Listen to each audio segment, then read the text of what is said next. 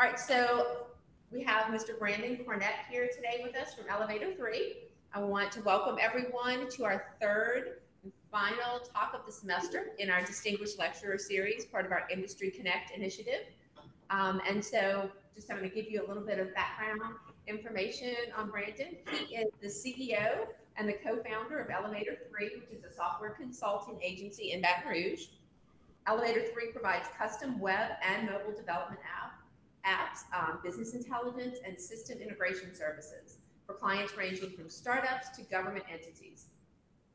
Brandon is also the CTO at Paystar, which is a software product that strives to simplify bill payment processes for utility companies.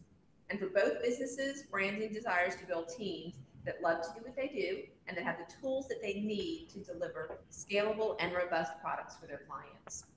Brandon graduated with a bachelor's in computer science from Southeastern, so he's one of our alums, um, back in 2012. And he sits on the department's industry advisory board.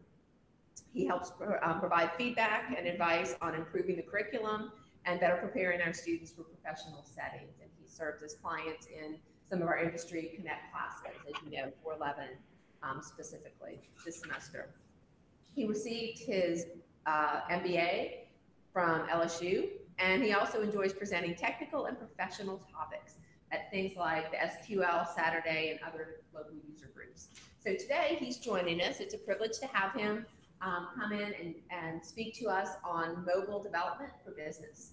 And he's just going to tell us about some of the lessons he's learned. So without further ado, I want to turn it over to Mr. Cornett. Thank you.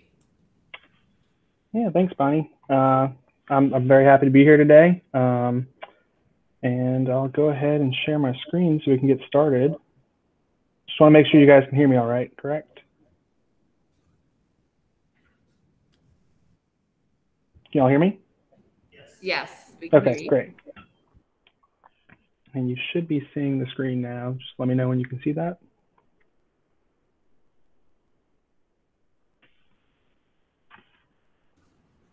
Looks good. Great.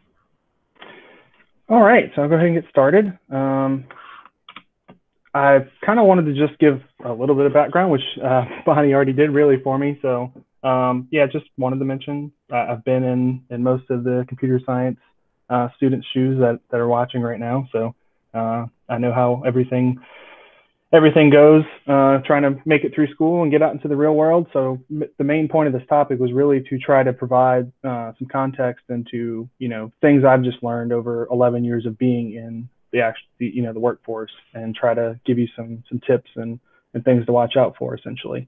Um, she mentioned Elevator 3 and Paystar, so I don't need to really go over that. Uh, one of the bigger things I wanted to say is just I've been in the development role, both you know an intern, junior developer, senior developer, uh, but I've also been on the other side on uh, the PM front. So um, in one of my positions at Turner Industries, I started kind of doing more of the project management, and I think there's a great um, being a developer and then moving to a PM position kind of gives you a great um,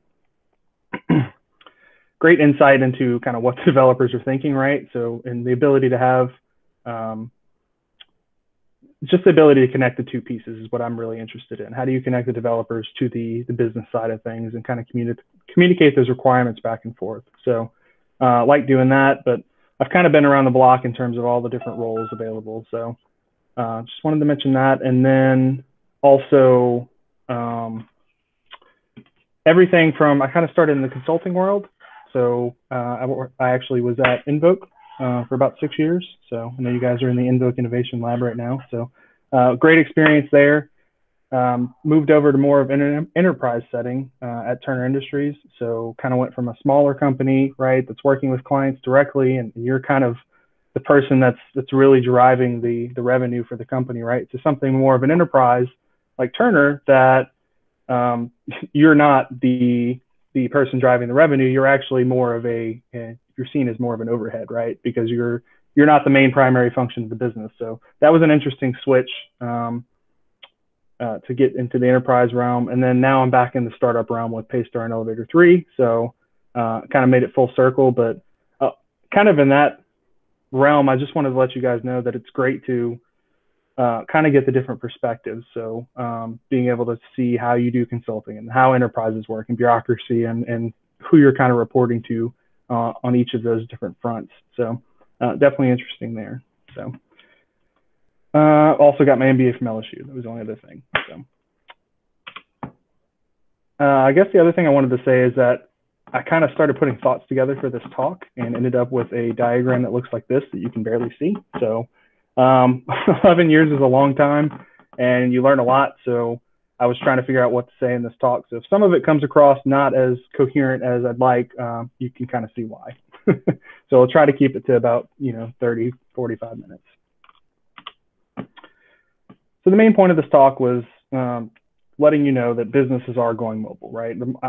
I'm working with more and more clients that I'm seeing are doing mobile and kind of just wanted to dig into why that may be. Why are they going mobile? Uh, and then I kind of asked myself this next question why does a business do anything? And the answer to that is they're trying to increase profits, right? For the, for the large majority of cases, that's the main point of the, the business is to increase profits. So, how do you go about doing that? Uh, we can either, well, really, we need to maintain our current revenue, right? Uh, we then need to add more revenue uh, to increase our profits.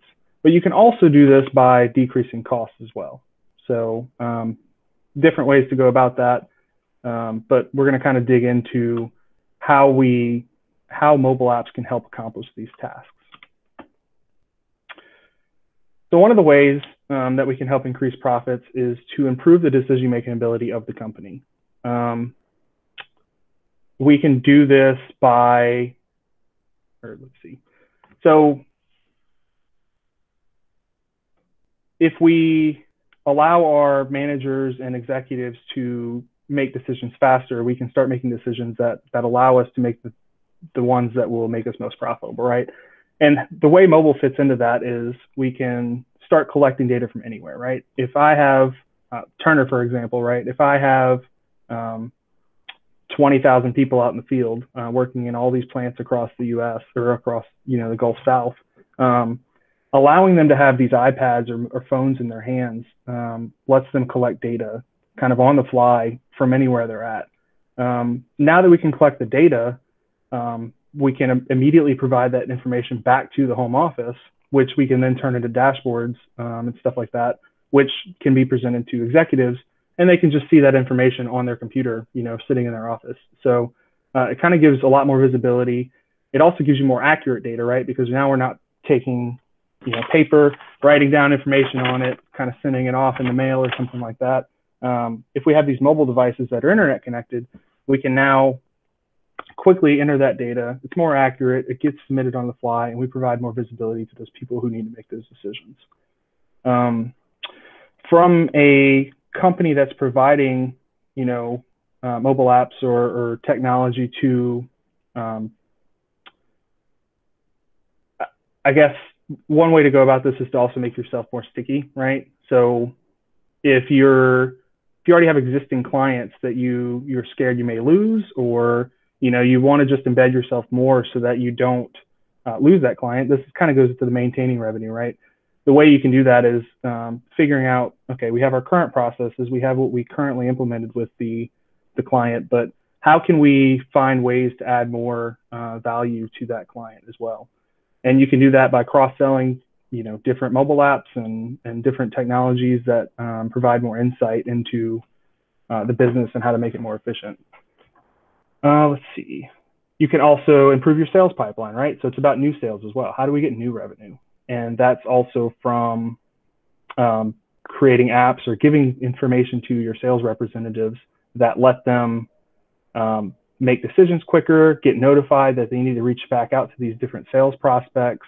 Um, so, so really uh, creating tools that will help your sales team uh, contact these clients as necessary, figure out who they need to be contacting, when they need to do it.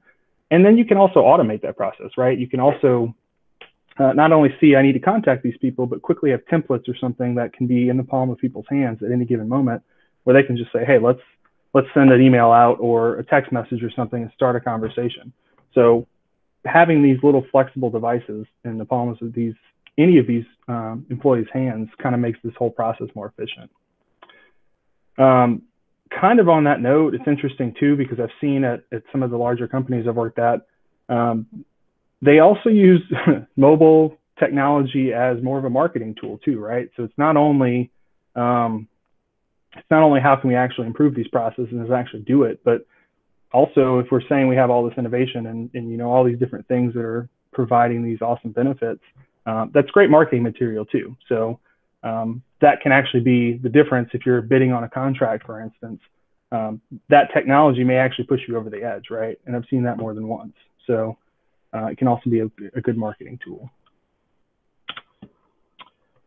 So I kind of wanted to step into some of the examples I've seen um, that have, you know, I've either created or I've seen just implemented in businesses. Um, so some of those that are trying to increase the profit, right, are automation. So how do we automate manual processes that are happening at the moment? Um, whether that be on paper, whether that be, you know, maybe it's uh, calculations that are happening uh, by hand right now. How can we put that, put a process in place where now people can just simply input, you know, quick numbers or inputs, and then have that process actually happen behind the scenes uh, without manual intervention. So if you can do that, that kind of goes to the cost cutting aspect of it, right? Um, so if we're reducing our costs, now we're being more efficient. We can use our people in other ways. Uh, that then drives up the profit in the long run. Uh, asset tracking is another one. So this is all about inventory or, you know, uh, different items out in the field potentially. Um, a lot of the, you'll notice a lot of the stuff that I'm going to talk about is, or a lot of my examples are, are more industrial. That comes from the Turner perspective, right?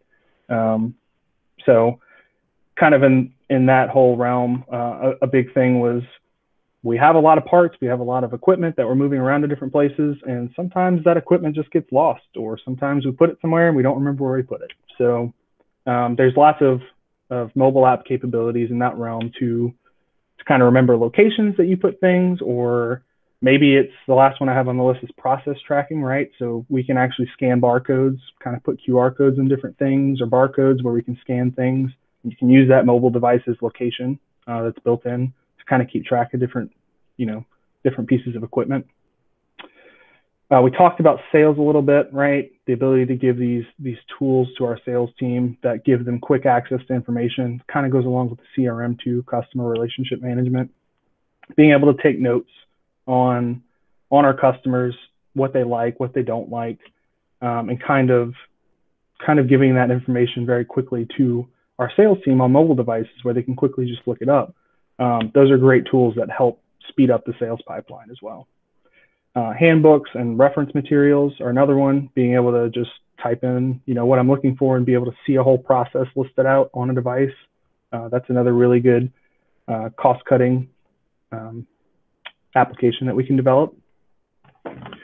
Uh, customer collaboration is another one. Just again, this being more geared towards plants uh, in my in my experience, but uh, being able to quickly do things on tablets in the field as they're happening, and then giving that information to our customers as well, or their customers that can, so they can kind of know what's going on in real time, right? So now they can sit in the control room and monitor everything across their plant or what we're doing.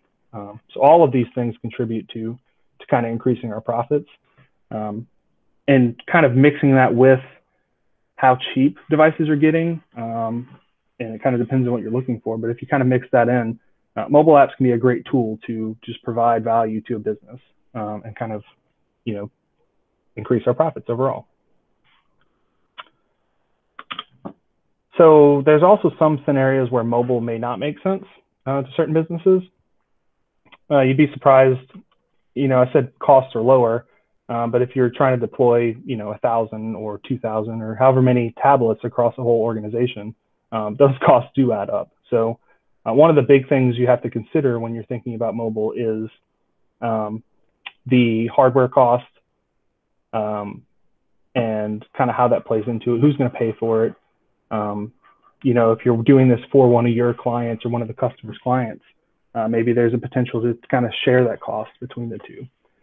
Um, but that's definitely something to consider. And then also just the development costs. Um, that one's kind of interesting coming from a consulting background.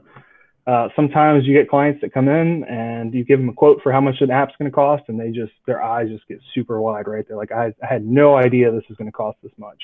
Um, and then other times you actually have people that come in thinking it's gonna be a lot more. So uh, it's a very interesting dynamic in, in consulting that you have to just consider. Uh, let's see. Another thing that you need to think about when you're thinking about making a mobile app is, does it even need to be a mobile app, right? Um, mobile inherently just comes with a bunch of different considerations you have to think about. Um, one of the questions you need to make sure you ask yourself, am I doing this because it's cool or am I trying to push it because it's cool or because I want to do it? Or could it just be a simple, you know, responsive mobile website um, that that you can kind of develop on the fly, push out. It's not distributed at all. You don't have to worry about any of the infrastructure or not as much of the infrastructure. Um, so does it actually need to be a mobile app or is a website that's just responsive something that the client would would be okay with? uh, also asking yourself why someone would download it. Um, if you're I think this one is kind of different in different scenarios. If you're a business and you have employees that are, you know, that will have these devices, obviously you can push this app to them and say, hey, you're using this app as part of the process, right? Um, but if you're doing it something, you know, if you're making something that you're just trying to push to the app store, you do have to consider, you just need to think about why would someone do this? What's their incentive to go and download it? Um, and it's definitely interesting in, again, the consulting realm when clients come in, this is one of the questions we ask them is, you know, have you thought about why you want it to be a mobile app? Because it could, again, just be a website. Um, what's someone who's going to actually log into the app store and say, okay, I want to search for, you know, t-shirt app and, or t-shirt making app. Why wouldn't they just go to the website or Google it or something like that? Um, so just considering that. Uh, if you have competition, you know, you have to provide something unique. That's just part of business as well, right? If you don't have something that sets you apart, um, you're not really going to make it um, without having that differentiation if somebody else is more popular. And then also, again, just kind of considering off the shelf products. Um, coming from the consulting world, again, if a client comes in and says, Hey, I want this, I feel that it's partly my responsibility to say, Hey, I know what you're asking for. I, I see that, but I also know this off the shelf product um, that that could solve your needs right away without us having to develop this for you. So why don't you just pay for that and use it? Some scenarios that work, some that doesn't, but it's always good to offer or think about what's what's off the shelf already that we can kind of put together or integrate with um, to reduce those costs. And it's interesting uh, because just off the top, you'd think from a consulting perspective, yeah, we want to make money, we want to build apps for people, right? But I've I've found over the years that if you just give the client that's coming to you this off-the-shelf product project and, or product and you're honest with them they actually, you, you know, you start to build trust there and they start to trust you more. So anytime they have any needs, you're kind of the first person that comes to mind because they'll trust that you're going to do what's in the best interest for them. So you may not get that project right now, you know, kind of starting off, but uh, maybe you'll get, you know, I've built many relationships that are still ongoing from from way, you know, way back in the past, um, and they just keep coming back. And, and any question they have, I'm kind of the go-to person, right? So you're building that relationship for the long term which gives you not only that you know that revenue right in the moment, but uh, also in the future as well. So, but if you have decided to build an app, um, this is kind of where I'm going to get more into sort of the tips and development um, development pieces of the presentation. So we've decided that we're going to make a mobile app now. Um, so what kind of considerations do we need? What should I watch out for? That kind of thing. So what are you building for? Um, this is one of the bigger things if you decided you're building a mobile app that you need to take into consideration. So is it iOS and Android? Is it phones and tablets or tablets? Is it landscape and portrait? Uh, these all may seem like simple questions, but these are really, you know, the bigger questions you have to get answered when you start to decide to build a mobile app. Um, and I think what we found is most of the time you can kind of start off with one platform or the other with clients and um, you know, start somewhere, get something out there, and then kind of add the other platforms at a later date. And there are multiple ways to go about that, which I'll go into in just a second. But uh, there's lots of questions you need to start asking because if you're trying to support multiple platforms, multiple device sizes, you know, um, also orientations, now you have to resize things, right? So it's just, it's a lot to consider. And that's one of the bigger questions you need to ask.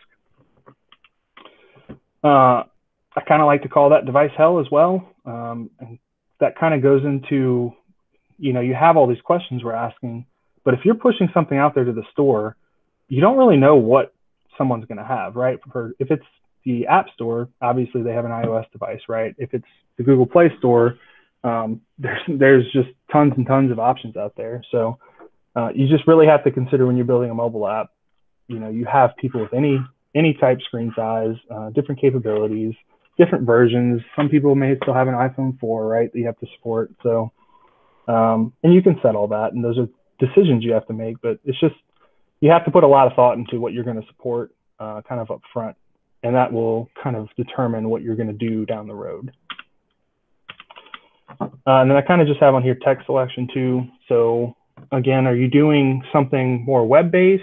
Um, you know, you can use React Native. I know that is native, but you can write it in JavaScript. Are you doing cross-platform technologies where it's not, you know, Swift or or Java or whatever it may be? Uh, we're doing something more cross-platform that somebody's built on top of those, right? Um, all of those are different tools that you have in your tool belt. Um, and you, they just have different considerations for both. If you write something natively that's not cross-platform, uh, such as again Swift or something like that, now to do an Android version of the application, we have to almost, you know, it's almost a complete rewrite. Uh, we might know all the logic and how it's going to work, but now we have to rewrite it on a different platform versus something like um, Xamarin, or even before that, a long time ago, we had Appcelerator um, from Titanium. That was what I started on. Um, but those are all cross-platform tools that let you build for all those different devices at the same time. Um, so lots of pros and cons to both. I think Xamarin Forms is something that was just starting to catch on kind of towards the end of when I was developing. Um, I know there was a lot of limitations up front, so you kind of just have to to play it by ear and figure out what your requirements are, what you're going to support, and then you can kind of go and select the tech from there. All right. Uh, another thing I wanted to mention, just because there are so many different devices, um, there's services out there which are pretty cool to uh, to use. Um, they are actually libraries of real devices that you can kind of pick and choose what you want to test on, but you can push your app up to this this service. This one here is App Center. They have it's called App Center Test, I believe. Um, I think this used to be Xamarin Cloud when I used to use it. Um, but essentially, you push your app up, and it will step through every one of your screens or whatever you've set up for tests, and it will actually tell you, hey, these all work on these different devices. Here's the screenshots I have for each step of your test. Um, but you know, on this specific one right here, this one crashed or you know had an exception. So it'll tell you that, show you the error message that popped up, and a screenshot of exactly when it happened as well. So uh, there's a lot of tools out there that will help you um, develop for for multiple platforms all at once and sizes and and all that kind of stuff.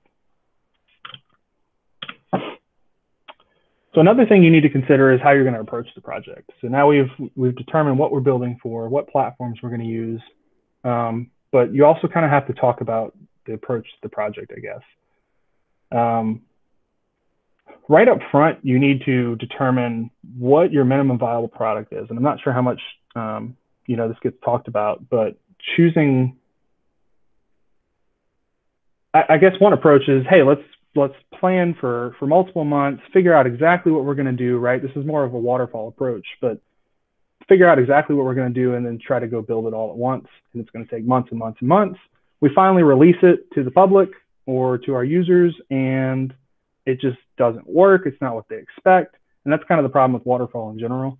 Um, so taking more of an agile approach and saying, okay, what can we do that's the minimum amount of work that will be able, you know, will still provide value to our end user, but let's go ahead and get it out there, have them start testing it, uh, and then provide feedback to us that lets us kind of pivot on the fly and, and go down different routes as we need to and keep adding on to this you know this base product. Um, i find that works really well. Um, i'm not sure if anyone's heard of a company called block lawn care um, in baton rouge but they're a i guess on-demand lawn service. It's a mobile app you can download where you type in your address gives you a quote for your house uh, for lawn mowing and then you kind of say go and somebody will accept and come out and cut your grass it's generally the whole process um, but what we did with them, they had this giant plan. They wanted all these features, and we said, you know what?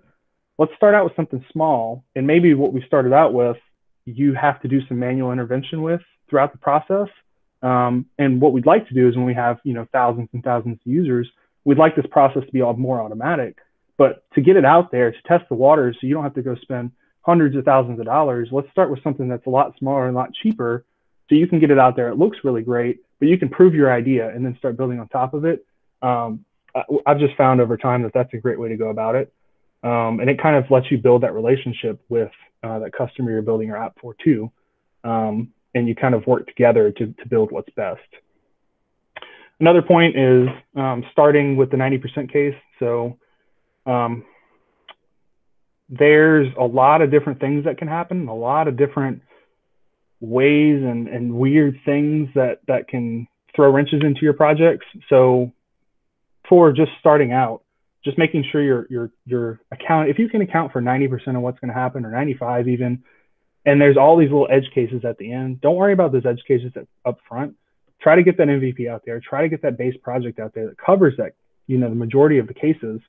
And um, i've even found that what you can do is kind of log or watch with analytics what's going on in your app and if somebody's trying to go outside of that 90% case you've built for just have alerts that that kind of go to you that say hey somebody's somebody's doing something different than what we expected, which may cause an issue. Uh, but starting off, that's okay, and we know that we've developed this app, but you know we're working on it. But um, for that 10%, you can kind of just work one-on-one with those people that need those specific things. Um, so take it one step at a time. Um, start with something, then build on it, and keep adding features over time, and you'll have something great. Another thing I found is having deadlines for yourself, even if it's you know, if you have a client, you definitely have deadlines. But if you don't, you're building something internally, try to set deadlines for yourself too of milestones you want to get to. Um, I find that that kind of gives you uh, something to shoot for. You start realizing if you're you're being too ambitious. So you kind of set your own. You know, when are we going to have this thing fully done? Uh, so, so just try to do that when you can.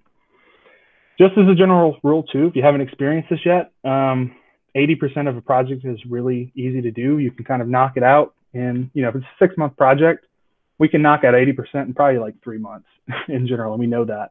Uh, it's that last three months is just completing that last bit of 20% of work because there's so much um, kind of complexities and different.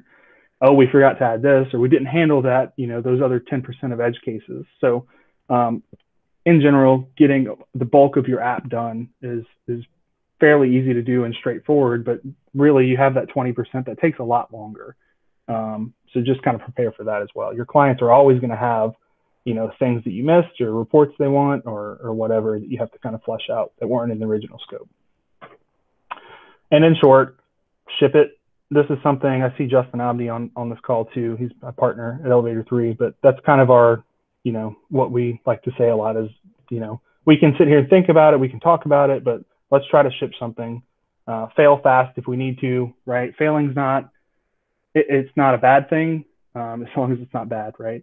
But failing in general is not bad. Let's let's learn from it. Let's get better. Uh, ship it out there and start getting feedback from the customer that that lets us, um, you know, move forward and provide exactly what they're looking for.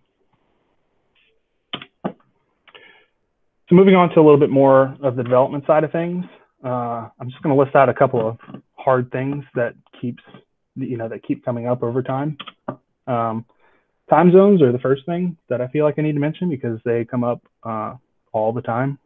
Every I feel like every week we talk about these. Um, time is hard. Uh, time zones are hard. There's daylight savings time you have to worry about. There's states like I believe it's Arizona that don't observe daylight savings time. Um, there's also just different types of times in general. So, you know, if I have an event at 4 p.m., um, I could keep going on this forever, but if I have an event at 4 p.m., I kind of just want it to be at 4 p.m. and I'm saying that no matter what, versus trying to convert it to different time zones in certain scenarios. So just letting you know, uh, not going to go into it anymore, but time zones are one of the hardest things that I've come across. Um, there's different scenarios where you want kind of point in time times, you want to convert them to certain people's uh, time zones if you fly to, you know, across the U.S. Sometimes you want to see things in Central Time you know, if I go to California, sometimes I want to see things in Central Time, even when I'm in California. Sometimes I want them to convert to my time zone wherever I'm at. Um, uh, it, it, just kind of depends. So just just be aware of that. Uh, there are tools out there like NodaTime for C Sharp and Moment.js, and Moment has a time zone library as well. So just kind of keep that in mind uh, when you're doing things as well. I, I guess one note on that that I'd say is if you know that you're only in Central Time or if you're only in Eastern Time, something to consider in in you know, and just shipping it. Don't store everything in UTC and try to worry about time zones. Maybe if it's just for this one client and they're always going to be in Central Time, let's just store things in Central Time, right? Keep it simple. So just a consideration. Uh, security is also hard, and this kind of depends on uh, lots and lots of factors. Um, but in general, I think we found there's something for C Sharp specifically. There's something called Identity Server uh, that we've kind of adopted. It's a it's an open source platform. I think they're actually going paid, but um, people have put a lot of thought into security. They've they've gone through you know different trials and everything. You trying to create your own security framework is probably not going to work out, or wouldn't work out if somebody attacked it. Um, even using the built-in Microsoft you know authentication stuff, if you're doing C sharp, that's great. Um, but try not to develop your own security mechanisms if you can. Um, one of the harder things on mobile is that, you know, on web, you're using cookies, you're using, um, if you're just doing logins on the web side of things, you're using cookies, you can use local storage and stuff like that. You don't really know what people are going to have, or you have to support all kinds of different things on mobile as well. Uh, there's refresh tokens and OAuth and all kinds of stuff. So I, I guess the bigger thing to say there, security is hard as well. Try not to recreate the wheel is the big takeaway there. Um, try to use something that somebody's put a lot of thought into already. Uh, another thing when you're doing mobile development is emulators versus real devices. Um, I can't tell you how many times I've developed a whole mobile app, thought it was great, and I was like, cool, let me plug it into the device to ship it to the customer, you know, or kind of put it on the device to test. I put it on the device and it just doesn't work. Um, if you can, throughout the process of developing your your application, try to test on the actual devices you're going to be using, uh, because emulators won't match up all the time. Uh, you also, you know, if you're supporting cameras or location or whatever that may be, there just might be, you know, slight differences between the different uh, the different platforms. So keep that in mind. Uh, I have to say that designs are hard too. Um, there's different types of programmers. There's, you know, people that are really good at you know, user experience, but uh, kind of what I've, I've done is uh, I've decided to stay in my lane. I've decided I'm a great developer. I cannot design anything. So uh, I kind of have contractors that I can reach out to to provide designs. Um, and then we kind of just implement those designs or, you know, hire one on staff if you can. Obviously, it's not um, not something everyone can do, uh, depending on the situation, but um, just designing things is, is hard in general. Uh, I find that mock-ups and wireframes are usually good to do. Um, they're low fidelity. They're they're very just straightforward and easy to look at. Um, but if you can kind of do those wireframes or mock-ups of what you're thinking, it kind of lets uh, you and the stakeholder, you and an actual designer doing the designs, you can kind of talk about those and relay those messages uh, back and forth to one another. Um, I guess this is a bigger one that that I really try to harp on is app updates. So when you're distributing a mobile application, you're distributing it to the App Store, you're distributing it to the Play Store, right? People are downloading that. They could go turn their phone off and leave their phone in their drawer for, you know, uh, years and then come back and try to open up the app without updating it to the latest version. Um, and and then you start to have problems potentially. So a big thing when you have a distributed application like like you do with mobile apps is you need to be backwards compatible with with different um, with all your different versions. You either need to decide to be backwards compatible or you need to have some way to communicate to your users, hey, this version of the app isn't going to work anymore. You need to go download the new one. And I've kind of run into that a couple of times uh, over the years where I didn't build announcements, like the ability to communicate with my users into the application. And it's kind of bitten me. And one of the things is um, losing Android key stores. I think that a lot of the technologies help with this, and Google may have fixed it by now or made it easier to keep track of. But um, there's actually something called a key store, like a certificate that you have to um, use when you're publishing Google Play applications. If you lose that key store, or you don't keep it around or you know backed up or anything, um, you can't publish updates to your application anymore. And I actually ran into it one time where I had a version up there, didn't have announcements or any way to communicate to users, lost the key store, had to push a new one, and I, I couldn't tell the people, hey, go download the other one from the app store. Or I, maybe I found a way, but it was really hacky and it made like, you know, an entity in the application or something. So kind of worked around it. But all that to say, I think announcements are really important to focus on. Make sure you have a way to communicate with your users, whether it's push notifications or something in the app, um, but also checking to see if you have maintenance going on, if your if your actual API or, or you know web-based version or whatever it's communicating with goes down. Make sure you have a way to communicate that maintenance is going on, um, and also again checking for version updates. If there's an update that's mandatory, checking that, uh, you know, doing that the first thing when someone loads the app could be really good to show them a warning and say, hey, you can't do this anymore. You need to go download the other one. Click here to open it or something. Uh, so just something to keep in mind. Uh, the next two kind of go together, data syncing and offline access. Um, that's always a really good question to ask um, when your customer wants an application. Is this going to be used, again, kind of thinking through Turner's um, um use case, they were in plants you know, throughout the Gulf South. And again, some of these plants don't have very good cell reception. So the ability to be able to work offline, how do you store that data locally, um, keep track of all the changes you're making, or maybe you can't keep track of them or, or change them, but you can just view data. You have to make all these decisions. Uh, and then how do we sync back up and have those two um, data sources kind of get combined uh, in the end is kind of a hard thing to, to keep track of. So uh, definitely think about data syncing, offline access. There's a lot of great packages and tools out there, again, that other people have already thought about um, that can keep these in sync for you. Uh, scaling is another hard thing. So in general, if you're doing enterprise applications um, for smaller businesses, it may not be a problem, right? Um, you have this one API, you have this one app, it may do a bunch of work, things may be inefficient, but you know what? There's four users, so it doesn't really matter.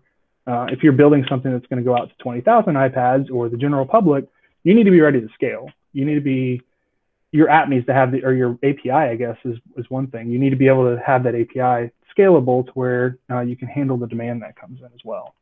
Um, so just thinking about that if you can. Um, Azure, AWS, those online services make it very easy sort of to um, scale your applications as needed. There's lots of other things you have to think about about data duplication and um, you know cross server um, consistency and stuff like that. But just something to think about. And the last thing I think is really hard is naming your project. You, I feel like you can spend forever on it. Um, what I've found is just you know name your project something. If you're making an online course system, name it courses. If you're whatever it is, just name it what it is. And then coming back and renaming things is not hard. So uh, just again, focus on MVP. How can I get something out there that I can get feedback on, right? And then worry about the, the smaller things. So I'm gonna go through a few tips when you're developing. Uh, I'm sure this is pretty obvious, but commit often. Um, can't tell you how many times, not how many times I have or I've known someone that has reverted things inadvertently and lost everything or, you know, didn't back things up. So or honestly, it, it comes to merging too. Uh, if you have all these different teams and people working on things, right? If you're not committing often and you don't have all these commits, you can kind of work through and make sure you can see what happened, so you know how to merge things. Um, you just end up with these giant, you know, thousand file merges that you're trying to merge everything together. So just make sure you're committing often and you're merging into, you know, your your your common branch. I don't know if that's master or you guys have some other, maybe you have feature branches or whatever, but make sure you're trying to to pull these different pieces together often because if you don't, you're going to end up at the end saying, okay, it may not even be worth it to try to merge this because we're so, you know, we have so many conflicts. Maybe we have to just try to rewrite it with, you know, the other person's changes. So make sure you commit. Kind of go along with that. Just please keep this in the back of your mind that you should always be taking backups. If you're moving things between servers or you're messing with the database at all that may cause an issue, really at all. If you're manually managing something, try to take backups. Um, again, that's just something that you see time and time again where someone didn't do it. And you have to go try to figure out, you know, different alternative ways to get data back. It takes generally doesn't take a lot to perform a backup or copy the folder that you're about to mess with. Uh, so please just try to do that. Um, these two kind of go together too. Um, didn't always do pull requests. Um, whenever you kind of you know go develop some code and you want to merge your code into the master branch and kind of push it in. On smaller teams, Sometimes that person is just kind of pushing their stuff up and, you know, just going along and writing code and pushing it as they need to. When you have more than one person, you have multiple people working on a team, it's really good to create pull requests, which essentially say, you know, here's all the stuff that I changed, here's the diff of everything I've done. Giving that to another uh, person on your team to kind of look at and look over um, is always a great idea because there's something you might have just missed. To go along with that, we started doing um, code demos. So when you do a pull request, also pulling a developer in, uh, just say, hey, come over to my computer, let me run this for you, show you what I did. I, find that often a lot of times, you know, you're going over it, you're saying, hey, I'm I, I, did this, I did this, but you actually catch something in the requirements that you missed yourself um, just by demoing somebody. So even if they don't really get what you're doing, you going through it kind of gives you um, some perspective too. Uh, it may uncover some things that you missed.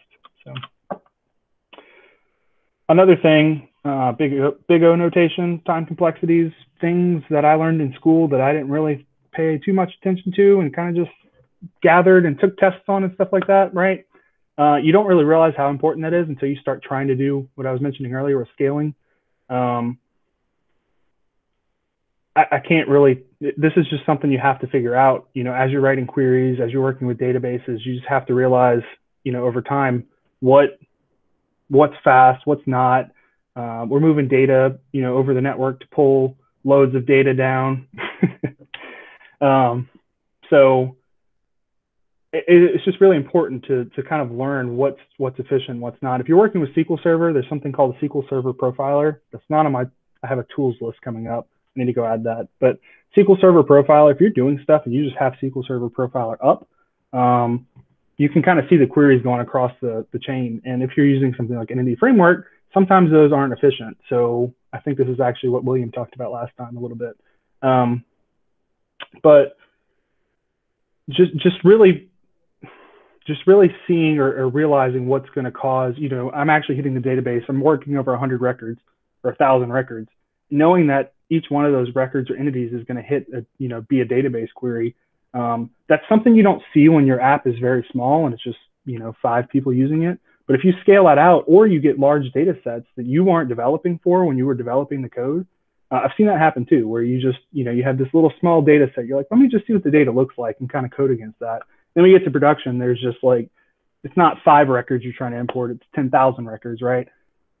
Time complexities get, get very important where you need to, you know, make sure things are optimized. And there's, there's different tools out there to help you with that as well. So uh, just keep that in mind.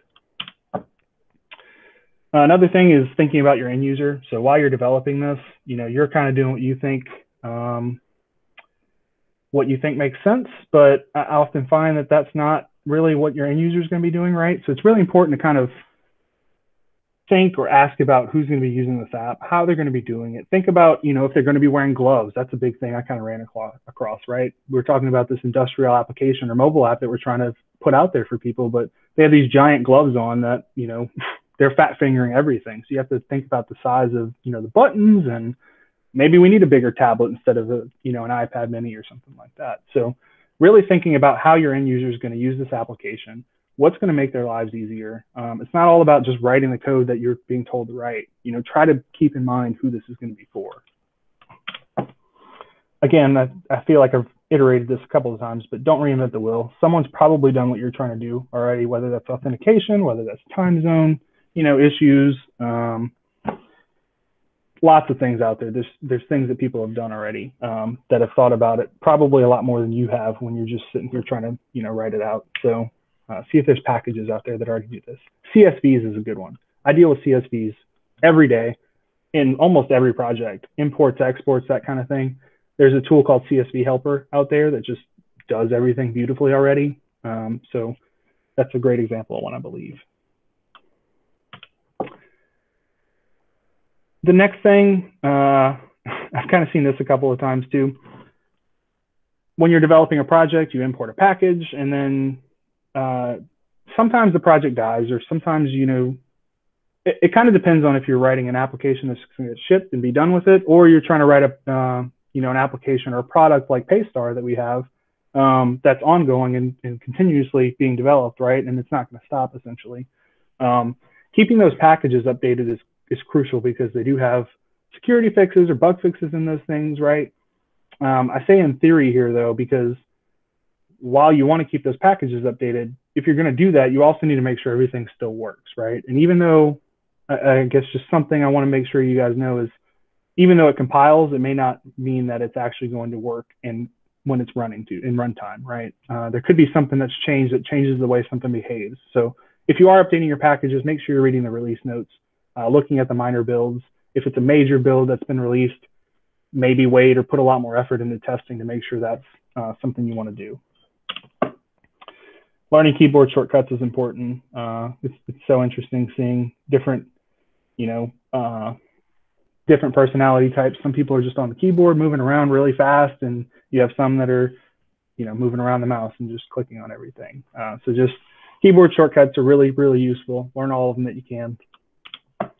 Uh, practice often. So whether that's you going home after work and building something you want to build, um, learning new technologies. I guess another bullet point. This could have been, you know, continue always be learning, um, reading books, just learning about different things. Um, you can never learn everything in this field. Um, there's so much out there. So just practicing what you're doing, writing smaller applications, uh, kind of helps you um, succeed and, and, and learn more over time. The last thing I wanted to mention was uh, clean code. Um, if you're writing a project, and again, it's just something you're trying to bang out, get to a client, and that's going to be it. Sometimes moving fast is okay. Um, I find that's rare because generally people do want modifications to it, and it becomes harder to to uh, to keep up with over time. But this is on here is clean code. There's also a book called Clean Code that I highly, highly recommend. Um, but it talks about when to use comments, um, or, or, you know, a thought on comments, I guess, because it's a very debated subject. Um, don't repeat yourself you know, all of these types of things. Naming things, naming things is hard. Um, you know, I see a lot of people try to make very shorthand method names, for instance. Um, but you're you're often reading your code when you're trying to figure something out. You're you're reading it a lot more than you're actually writing the code. So if you have, you know, maybe it is a very long name where it's like this is the method that calculates the blank. If you can't decide on a method name that's like you know 20 characters long, being more verbose, verbose sometimes and just having exactly what it does when you're reading it, it kind of just makes sense instead of you trying to figure out what did this do again, right? So this book is great. Um, I think there's lots of things in there. I'm not going to get into comments. I was going to, but uh, again, very debated. But I think this book explains it very well. It's a shorter book, um, but I think it gave me a lot of perspective on on a lot of different things. Um, so I, I, highly recommend that. Very quickly, some useful tools. Um, we have Ditto, again, this is just a very, you know, put it out there list, but clipboard manager to, um, if you copy and paste a lot and you forgot, you know, you copied something since the last time you had, you know, you wanted something two or three copies back, Ditto kind of helps you out with that. Um, this is a big one. If you're writing C sharp, LINQPad's a must. Um, it lets you write very small programs without spinning up a whole solution or a project. You can quickly just say new file, type some C sharp, click go, gives you a result, dumps it out to kind of the console.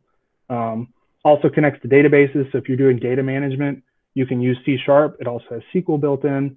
So you can kind of, um, you can quickly uh, just write small queries and, and test things out uh, using this tool. So it's a great tool. Uh, Whimsical is another one. Um, lets you do those low fidelity um, wireframes or mockups or mind maps. Actually, the mind map you saw at the beginning of this presentation was done in Whimsical highly recommend this. It's very easy to use uh, for kind of mapping out processes and, and uh, flows. Hangfire is another one. If you were at 411 the other day, um, the team that was working with me uh, implemented Hangfire. It's not so much the tool that's that's you know really use, useful. It's also thinking about what it's doing. It's scheduling jobs that happen um, you know once daily or every hour or even if you're trying to do back, you, you know, if you're doing things for a user that's submitting a file or something like that, and you don't need those results to be shown right away, instead of processing everything on demand, you can kind of offload that to a background thread and run that asynchronously using this tool. So great tool, very easy to use. Uh, highly recommend it. Um, Serilog and Log4Net, more of a logging logging frameworks that are very easy to use, give you great great outputs. Um, again, somebody's already created this. There's no need to create your own logging system. Postman, I think a lot of you are probably familiar with, Insomnia. Um, another big thing is we're an Azure shop, so I'm sure AWS is the same thing, but there's just lots and lots of tools within these these cloud platforms. Um, Logic Apps is one of the ones I've been using recently. Uh, Function Apps, they have event hubs, you know, storage, different types of storage. There's lots built into here. Again, that if you're working for a company that can that has budgets to use, instead of you going to develop all of these things by, from scratch, these systems already have like all of these tools built in to where you can move data around. Um, you know, subscribe to different when a when a file is created, go do this thing. Kind of if, if this and that was the the tool, um, which I'm not sure. Haven't used it in quite a while, but uh, it's kind of like an if this and that uh, system. So lots of stuff there. Uh, I mentioned NodaTime in Moment.js. Uh, moving right along, I realized, and I thought this would happen. It's uh, already 50 minutes in, so we try to speed it up a little bit. Uh, don't forget infrastructure. So learning DevOps, I think, is really important. I think you know there's lots of developers out there. One thing that's really hard to find is someone that knows how DevOps works, how those builds happen, and how you know you're deploying to these different machines or websites. Um, so I think that's a very useful skill, even if you're not going all the way to the server level and figuring all of that out, AD and everything. Uh, even if you can learn kind of intermediary piece where it's doing builds to deploy to systems, I think that's a very crucial piece to learn as well. Um, one note kind of on logging. Um, I was a kind of very against logging everything all the time um, in custom applications we were building before. Um, I would just kind of log specific things that I needed. Um, and then I think I was convinced by Justin uh, one day, hey, let's put this log in here that logs every request that kind of comes in. It logs what comes in, what goes out. Um, and then kind of the next week, I believe, uh, something went wrong in one of the applications we're building. And instead of us going and diving down this whole, you know, rabbit hole trying to figure it out, it was a very obscure thing. We looked at the logs that just had everything logged. Um, and that was super useful. We could just find it right away, knew what the error was, and could go fix it, right? Um, so I'm truly a believer in this now. Data is really cheap. Um, and storing that data, one, one thing to kind of think about is, yeah, it may cost something for us to store this data, but it's also probably a lot cheaper than us actually trying to figure out the problem manually, right? If you're going to take three hours to figure it out, we're talking about, you know, 300 plus dollars already. Um, so it's probably cheaper than to just actually log everything. Analytics is important. There's tons of tools out there that do this. Google Analytics, Mixpanel, um, Sentry.io is another one that's kind of more uh, notifies you of errors. So lots of tools out there that kind of fit around your application that you've built that gives you insight into those. and just when you're when you're in doubt, try to capture all the data you can. So if you're writing something for MVP um, and you're getting data back and you don't know if you're going to need it or store it or whatever, try to store it somewhere um, because if you have all of this data for the MVP application you're building, what you have the flexibility to do now is perform a migration or put out a second version and use all that previous data you captured uh, and kind of you know migrate that to be part of your application now. So um, just a, a, quick note there. A few non-technical points because I believe these are really important too. Being technical and, and you know all these tips I kind of just told you are more for development. Um, there's some quick tips I wanted to say on the non-technical side as well that I've just figured out over time. this is a big topic, so I'm going to try to not go deep into it. Um, but try to find wherever you end up working, try to be part of a learning organization. And what that means, kind of in short, is I've seen some organizations that that kind of they have the mentality of, oh, I'm a senior person, I know everything. You're an intern or a junior developer, you don't. So you know, just go do your thing. Don't ask me. Like that's my information. That's why I'm important. I'm going to do that, right? Um, those organizations, you know, those sometimes that turns into, oh, you're stupid, or hey, you're not worthy of this, or whatever. Or I'm not telling you because I want my job security too, right? Um, and that just creates a very, a very toxic culture uh, where everybody's kind of fending for themselves, and you know, you're not having great learning going on. So uh, I think you can Google learning organization, but essentially it's it's this this whole mindset of we're just going to share as much knowledge as we can No question stupid. If you have a question, ask it. You know, there's no judgment. Um, I, I think just having that that um, psychological safety of of having all of these people that feel like we can just talk about everything, have dev meetings, you know, um, and you're not going to be judged for it. That that lets everybody get better. And if someone figures something out, let's also tell everyone about it, so now everyone can grow together too, right? Um, great culture. That's what we strive for um, here at Elevator Three and PayStar. Um, and I think it's really important, and I think everyone really really loves being a part of it. So um, make sure that I guess the bigger point was make sure you find an organization that that believes in that and isn't just you know you're not just a number. You're not just hey go do this and leave me alone. So I said that kind of already, but ask questions. Make sure you're always asking. you also kind of learn a lot by teaching too. You may think you know something, but when you start trying to teach it, um, or um, when you try to, to, to relay that information to someone, you kind of realize what gaps you have when they start asking questions to you, right? So, so that's a great thing. Um, I have, like I said, I've been doing this for 11 years. Justin's been doing it forever. There's a lot of people I know that have a lot of experience now. Everyone has imposter syndrome all the time. Um, if you don't know what that is, it's just feeling like you're not worthy or like you should know more than you, you know, you actually do. Um, there's just so much information out there and everyone's got something they're really good at or better at, right? It's, it's just a spectrum. So everyone feels like this at some point or another. Um, so just make sure you know that and kind of take that into consideration when you're trying to learn and asking questions and getting better. uh, senior anything in my mind, senior developer, senior designer, whatever, just means you've Googled a lot more than that other person, right? Senior whatever in my mind means you just, you've encountered enough errors in your life that you know exactly what that error means now. uh, make sure you push yourself. That's gonna, you know, you're gonna succeed in the long run if you just keep pushing yourself, keep always learning, reading, uh, that kind of stuff. Finding a mentor is another really important point. Make sure you have someone that's always, you know, giving you new, fresh information, giving you their experience. Try to latch on to someone, have someone to to ask those questions, right? Um, kind of another point is watching what you say. And I guess this is just in a workplace, information spreads.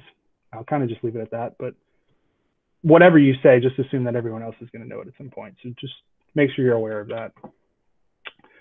This one was actually something that I didn't do well at all, which was listening. Um, I could listen, but what would happen is, and this is kind of in a consulting context, someone gave me this feedback one time, and it, it really, I've just kind of latched onto it you know, since five or six years ago. When someone's kind of telling you their problem, don't just jump in and try to, you know, give them solutions right away. Let them kind of get all of their information out. Let them try to explain what's going on. And then what you can do is take what you heard and repeat it back to them and say, okay, so I'm hearing that you have this, you know, and this problem and that problem. So this is what I think we can kind of do, you know, going forward. Try not to interrupt people um, because they probably have something they want to get out that's really important that'll kind of change what you're thinking already. There's no need to kind of just jump in and and you know cut them off. Um, so that's that's very important, I believe. And then ask for feedback, right? I, I think this kind of goes along with the learning organization a little bit, um, but just having this culture where everybody's kind of providing candid feedback to each other.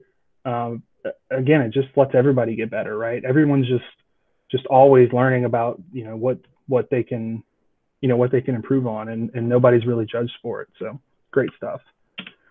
Um, build relationships. Networking is important. Um, obviously, in business, business runs on relationships. So try to build them. Try not to burn bridges. If you're going to leave an organization and go somewhere else, there's no need to burn that bridge, right? I kind of believe the same thing with with interns or, or people, anyone who works here really at Elevator Three. I don't want to burn any bridges. If you come and say, hey, I I hope you already came to me and said, Hey, I have a problem, or here's what's going on, or what could be better, right? But if you don't, and you decide you want a job somewhere else, that, that's great. I'm happy for you. Like, you obviously want to go be, you know, do this other thing. Let's keep in touch. Maybe it can be a mutual benefit, mutually beneficial relationship going forward, right? So, um, relationships are super important. I don't believe there's ever a reason to really burn a bridge. Um, so, and then speak publicly. I know this is kind of, you know, I have a lot of stuff here. I probably could have uh, filtered it down a little bit, but speaking publicly gives you that ability to to, you know, build those relationships more, to to go out and, and build confidence uh, and give back. So go back to Southeastern when you graduate. You know, be a part of that and uh, try to help everyone grow because you know Baton Rouge, Hammond, New Orleans, it's a very small area.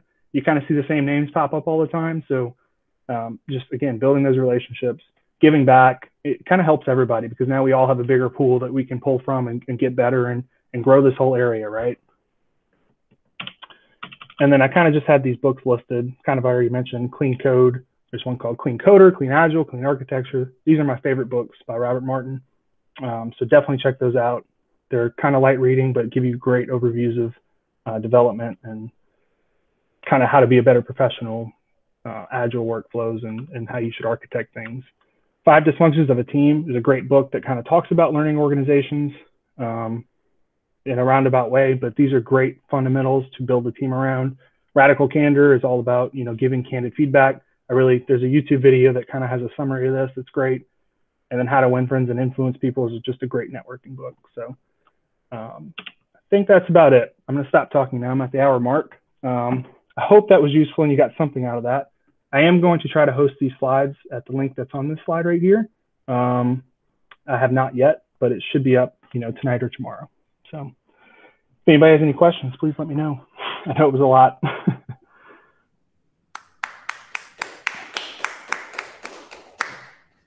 Brandon. So we want to open it up for questions. If anyone has um, questions, we have a couple minutes for that.